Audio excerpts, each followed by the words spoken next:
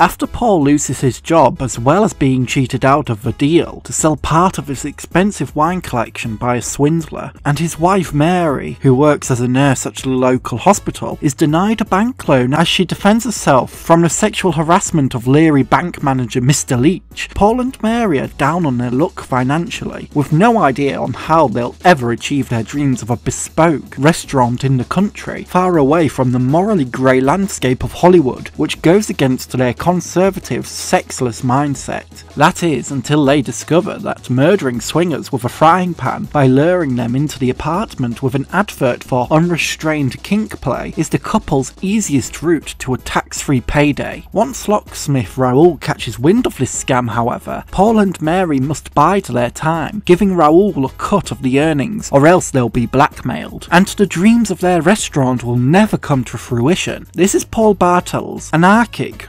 and risque dark comedy Eating Raoul, a film filled with a sharp witted brand of offensive humour that takes its most fierce jabs at overtly patriarchal power, sexual harassment, and the injustice dealt towards innocent and rather pathetic nobodies such as Paul and Mary. While the small budget of the film is apparent, the impact of the film's distinct sense of humour is rollicking and boisterous, likely to provide hearty laughter to those seeking comedies in a similar vein to John Waters' own brand of outrageous kitsch comedy. While the numerous jokes regarding sexual assault are bound to upset more sensitive viewers, understandably so, the intent behind Eating Raoul's shock humour is to exaggerate with intense hyperbole that these more offensive scenes become incredibly difficult to take seriously, while also swinging much needed punches swiftly towards the individuals who perpetrate such sexual abuse. Paul and Mary's scam at the centre of Eating Raoul to murder the swingers who answer their false advertisement for liberating kink play and rob them of every penny serves as an action of rebellion against the injustice they both experienced. Mary is the victim of sexual harassment from her patients at the hospital, the sexual harassment also extending to her other professional endeavours, such as seeking a bank loan as a financial foundation for her and Paul's dream restaurant. Paul is belittled by a shifty liquor store owner, his employer, despite Paul's vast gourmet knowledge of wine, while also being cheated out of six of his most expensive bottles from his personal wine collection, which he was reserving for when his and Mary's restaurant opened, while the couple hold their own marital issues, eventually leading to Mary and Raoul having an affair which unlocks her own sexual liberation. Paul and Mary are our anti-heroes, their murderous actions serving as a rejection of the morally grey landscape that normalises sexual harassment and the financial cheating of honest workers. Eating Raoul's biting satire critical of Hollywood serves a portrayal that, while an exaggeration, is not 100% different to the sleaziest corners of Hollywood, where sexualization is normalized in advertising, yet unfairly punished in the streets. Almost giddy in its criticism of the power that embraces sexuality, but only when it serves those within power. Eating Raoul is intent on dismantling the power of sleaze, which so eagerly corners Paul and Mary, pushing them to fight fire with fire. In its critique of the normalization of sexual abuse and exploitation of honest workers, Eating Raoul's embrace of distasteful humour potentially rivals the shocks of John Waters at his most chaotic. Mary, as part of the plan to rob swingers, partakes in a Nazi kink roleplay. Raoul, after his final attempt to blackmail Paul and Mary, is murdered and turned into chowder, served to the realtor who has evaluated Paul's and Mary's apartment. A swingers party is gate crashed and ends in literally killing the party. The humour on offer is intent on outraging conservative values regarding sexual monogamy, attempting to push its absurdist gags to their most ridiculous limits, sprinkling in self-deprecating gags regarding how out of touch Paul and Mary are. Eating Raoul aims to punch up with its offensive gags rather than punching down. For all the outrageous anarchic comedy, Eating Raoul is surprisingly progressive in its portrayal of sexuality. A dominatrix sex worker is portrayed as a business-minded single mother who is providing for her child. The sexual liberation of Mary leads to an unlocked level of joy she hadn't quite experienced before, even if she is aware that it challenges her traditionalist marital values. The visual gags regarding sexual harassment and assault are also likely to work for some viewers more than others due to the punchline centering on the discussion of consent. The victims are not quite the joke here, here, but the ignorance of not understanding or refusing to understand consent is. Despite the myriad of sexual and cannibalistic jokes, Eating Raoul is very much a left-wing film that mocks the ignorance surrounding a topic as important as consent, while also mocking the conservative outrage that leads to such sexless, holier than now attitudes. In conclusion, Paul Bartel's Eating Raoul is an outrageous comedy that on the surface aims to offend, but at its centre is an almost punk intent on disrupting traditionalist values of sexuality, reinforcing the significance of consent, and criticising the normalisation of sexual abuse and exploitation of honest workers. An offbeat underdog story of sorts, Paul and Mary aim to take on a world of hedonism to get what they want and need, almost discovering a sense of gleeful hedonism themselves in the gratification they receive in robbing the sexually liberated and sexually aggressive. An acquired taste within the landscape of comedy, but once you try eating Raoul, you may just be hooked.